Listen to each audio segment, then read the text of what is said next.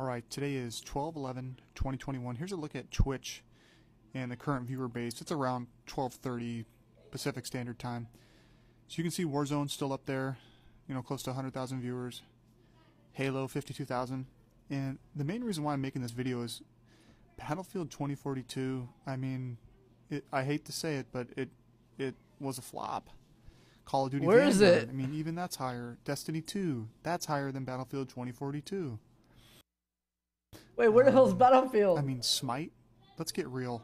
Uh, uh, it's a sad state. Where the hell's All right, today is 12 11 2021. Here's a look at Twitch and the current viewer base. It's around 2000? Pacific Standard.